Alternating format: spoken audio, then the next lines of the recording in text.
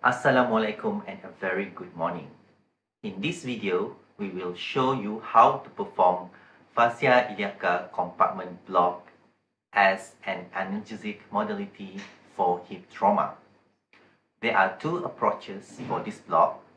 The first one is infrainguinal, lateral to medial approach, and the second one is suprainguinal caudal-cephalad approach. In this video, we will show you suprainguinal approach with direct longitudinal axis technique. Patient in supine position. First, we identify anterior superior iliac spine laterally. Place an index finger immediately medial to the ASIS. Align a high frequency linear transducer immediately next to this finger with the caudal end of transducer just above the inguinal ligament. Alignment of this transducer should be superior medial to inferior lateral from cranial to caudal.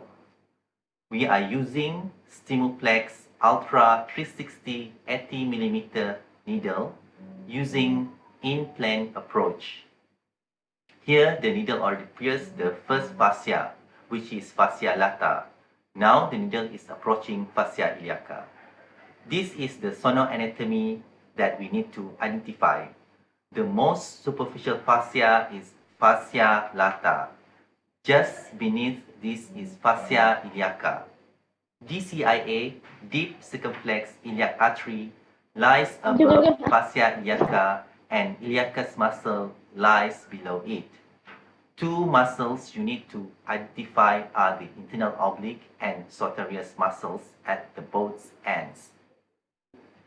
Ilium is identified as rounded, hyperechoic rim with hypoechoic shadow below it. Some describe this as bow tie sign. Both ends of the bow tie represents the muscle. On the cephalad side is internal oblique and on the caudal side is the sartorius. So here we can see that the needle already pierced the fascia lata, which is the first fascia. Now the needle is just above the fascia iliaca.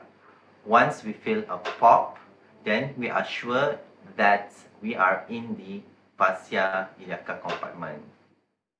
Once we are here, we aspirate and make sure there is no blood. If it's clear, we are going to inject our LA. We are using ropivacaine 0.2% 20 mils of volume. We can use up to 40 mils as long as it does not exceed the toxic dose. So here we are going to inject our LA as you can see. The LA spreads very nicely towards cranially. And if the spread more cranially then there is possibilities it will spread to the lumbar plexus okay so there there is some space created by the LA so we are going to dive in a little bit our needle and we inject some more LA into that space.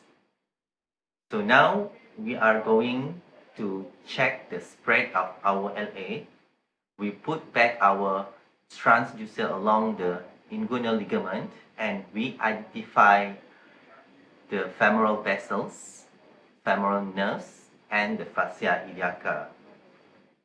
So the LA, there is some LA in the compartment. So thank you.